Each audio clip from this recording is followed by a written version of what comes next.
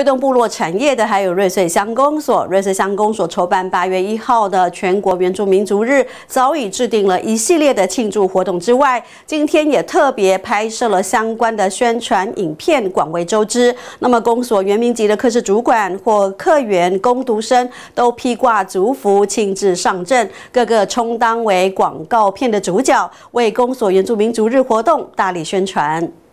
瑞穗乡公所前广场，公所原住民级的客室主管、客员或工读生，身穿各自族群的族服，跟着专业摄影师的指令，在镜头前摆 pose，共同为八月一日全国原住民族日庆祝活动拍摄宣传影片。右下左上，对对对，哎，我这样感觉不一样。对，这样。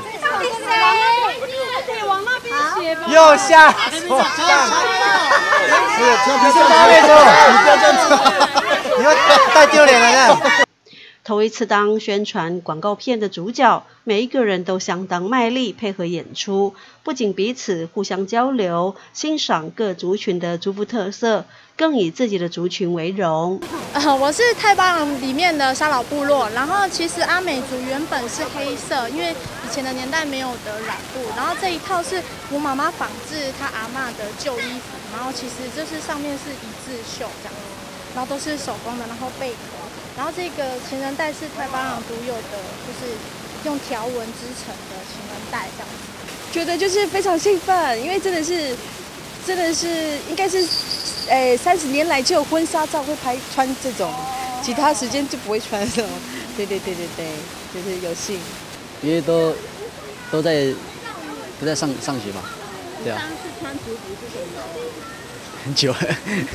对。瑞穗乡公所内原住民及族群相当丰富多元，堪称是花莲原住民族群的缩小版。借由拍摄宣传影片，每个人也骄傲地展示各自族群、各个部落的族服特色。也入境宣传的秘书简芳荣，身穿自己泰雅族群的族服，提前预告，也欢迎大家届时共享盛举。我们今年瑞穗乡啊，针对原住民族日有一个呃四天的系列活动，那其中终有一天，也就是八月一号这一天，那我们会公所的原住民的同仁都会身着我们的族服，那我们也希望可以纪念这个时刻，所以也希望说在原住民族日之前，把呃我们相关的系列活动可以让我们全乡的人可以知道，所以我们会拍呃穿着族服来去做一个拍摄，致力推动多元族群社会的瑞穗乡公所，提前筹办今年八月一日原住民族日一系列庆祝活动，并且将从七月三十号起展开为期四天的庆祝活动。